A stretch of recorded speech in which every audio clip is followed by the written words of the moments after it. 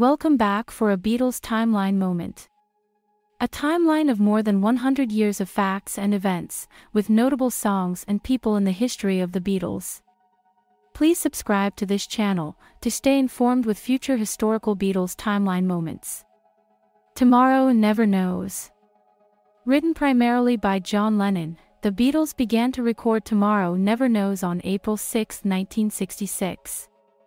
The song was first released as an album track in the UK, on the Revolver LP on August 5, 1966, then issued in the US three days later. Lennon drew inspiration from his experiences with the hallucinogenic drug LSD.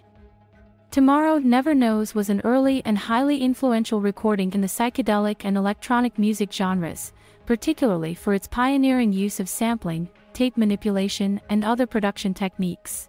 It also introduced lyrical themes that advocated mind expansion, anti-materialism and Eastern spirituality into popular music. On release, the song was the source of confusion and ridicule by many fans and journalists. It has since received praise as an effective representation of a psychedelic experience of the 60s.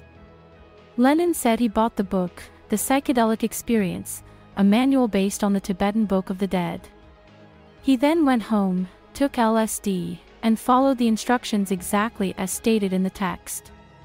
The book thought that the ego death experienced under the influence of LSD and other psychedelic drugs is essentially similar to the dying process and requires similar guidance. The song title was taken from one of Ringo Starr's Ringoisms. In a television interview in early 1964, Starr had said the phrase tomorrow never knows, when laughing off an incident that took place at the British Embassy in Washington, D.C., during which one of the guests had cut off a portion of his hair. We would like for you to participate for a Beatles discussion at our timeline website, the4beatles.com.